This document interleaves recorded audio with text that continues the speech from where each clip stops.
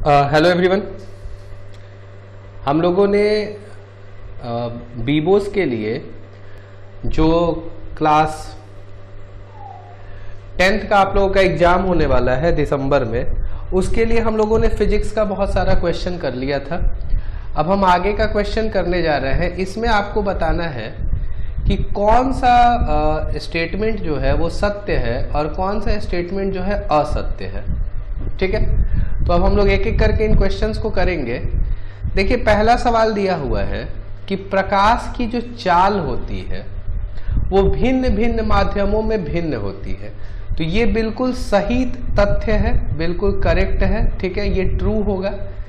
आपको भी याद रखना है कि जो प्रकाश है, प्रकाश की जो चाल है भिन्न भिन्न माध्यमों में भिन्न होती है तो ये ट्रू हो जाएगा, ठीक है?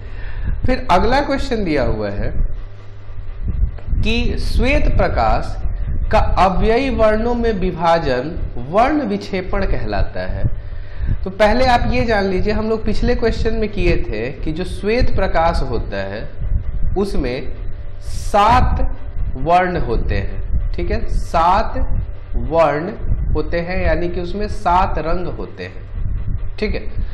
और जब ये श्वेत प्रकाश किसी प्रिज्म से होकर गुजरता है तो ये अपने सात अलग अलग रंगों में टूट जाता है, ठीक है?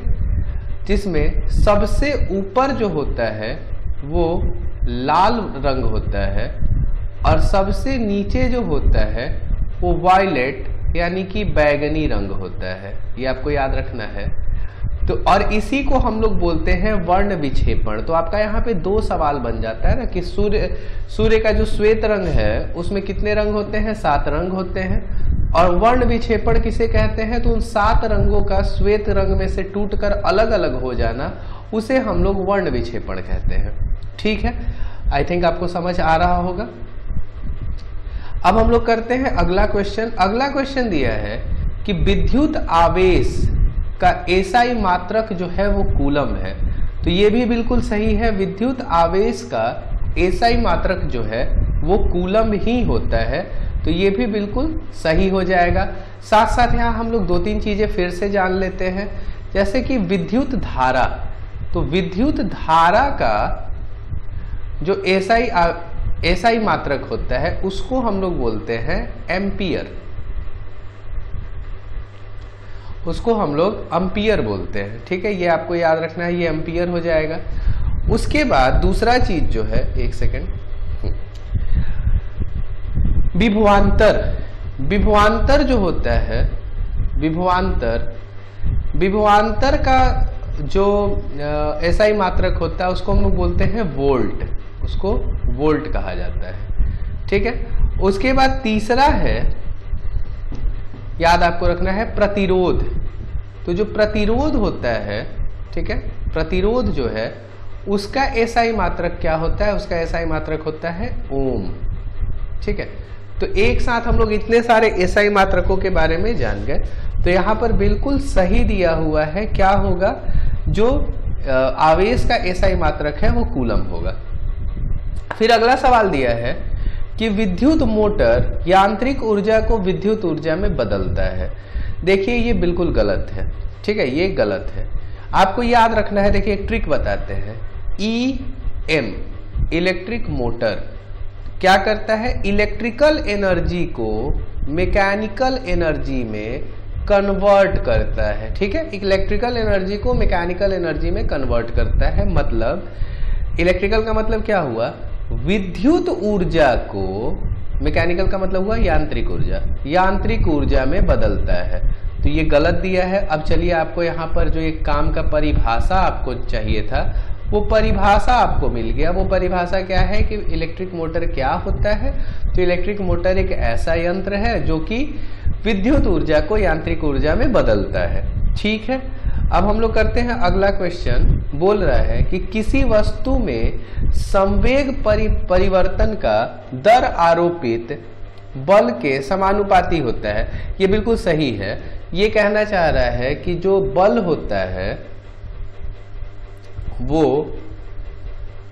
बल जो होता है, या इसको एफ़ लिखते हैं फोर्स वो समानुपाती होता है एम भी माइनस एम यू के। तो ये सही चीज़ है, ये होता है। ठीक है, आपको ये भी, आपको भी ये चीज़ याद रखना है। तो ये सही होगा, जो किसी भी वस्तु में जो संवेग परिवर्तन की दर होती है, वो अच्छा दर बोला है, यानी इसको समय से भाग देना होगा। तो ये आपको याद रखना है कि जो फोर्स होता है, वो डायरेक्टली प्रोपोर्शनल होता है rate of change of rate of change of momentum तो यहाँ पर आपको याद रखना है कि संवेग के परिवर्तन की दर जो होती है, आरोपित बल के समानुपाती होती है बिल्कुल सही है। ठीक है? अब हम लोग करेंगे अगला क्वेश्चन अगला क्वेश्चन दिया है कि संवेग में परिमाण और दिशा दोनों होते हैं। तो बिल्कुल संवेग जो है, एक सदिश राशि है। संवेग जो है एक सदिश राशि है तो संवेग जो है एक सदिश राशि है तो सदिश राशि में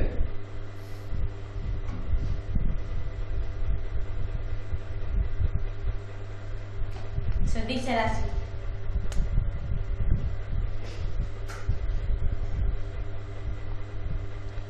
सॉरी संवेग जो है, एक सदिश राशि है, और सदिश राशि में क्या होता है?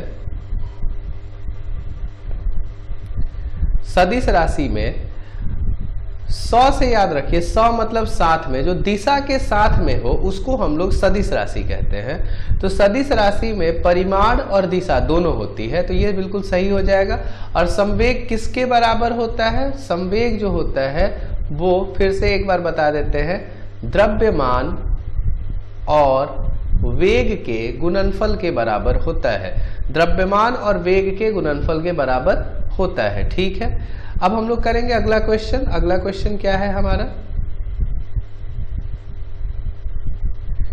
अगला क्वेश्चन दिया है कि बल जो है, वो द्रव्यमान और त्वरण के योग के बराबर होता है। ये गलत हो जाएगा। आपको पता है, बल जो होता है, वो मास इंटू एक्सिलरेशन यानी कि द्रव्यमान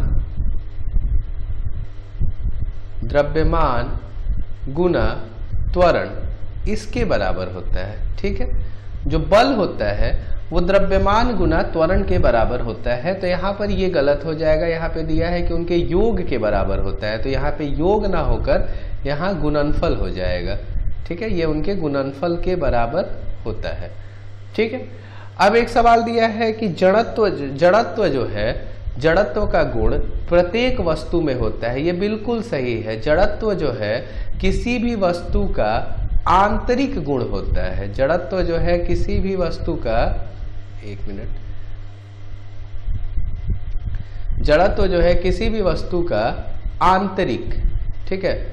आंतरिक गुण होता है। तो ये आपको याद रखना है जड़त्व तो किसी भी वस्तु का आंतरिक गुण है, और इससे हमको पता चलता है कि जो जड़त्व तो है, वो प्रत्येक वस्तु में होता है, पहले से होता है तो ये भी सही हो जाएगा। ठीक है? तो ये आप लोगों का ट्रू फॉल्स था। उम्मीद है आपको अच्छा लगा होगा। बहुत जल्दी आपको अगला वीडियो आपको इसका लेकर आएँगे, जो कि एक सेकेंड। जिसमें कि हम लोग ये अति लघु उत्तरीय प्रश्न और उसके बाद ये लघु उत्तरीय प्रश्न करेंगे। ये आप लोग एक बार देख लीजिए, ये सारे के सारे क्वेश्चंस जो हैं, वो बीबोस के साइट से उठाए गए हैं। यहाँ पर आप देख लीजिए, यहाँ लिखा भी हुआ है कि ये बीबोस का जो आपका विज्ञान का विषय कोड है, वही विषय कोड इसमें भी है। यहाँ आप देख सकते हैं 216 तो आपको इसी इन इन क्वेश्चन से बहुत सारा क्वेश्चन आ जाता है उसमें। अगर आपको नोट्स चाहिए या कुछ महत्वपूर्ण सवाल आपको भेजना है तो आप मेरे WhatsApp number nine four seven two five nine six three five two पर भेज सकते हैं। और अभी देखिए यूट्यूब पे कोई नहीं है जो आप लोगों को पढ़ा रहा है बीबोस वालों को तैयारी करा रहा है। तो कम से कम इस चैनल को अधिक से अधिक लाइक करिए वीडियो को शेयर करिए और सब्सक्राइब करिए ताकि अधिक से अधिक लोगों तक ये पहुँच सके और हम ज़्यादा से ज़्यादा वीडियो बना सके, क्योंकि मोटिवेशन ज़रूरी है किसी भी चीज़ के लिए, ठीक है? Thanks for watching thank you अच्छे से तैयारी करिए। धन्यवाद।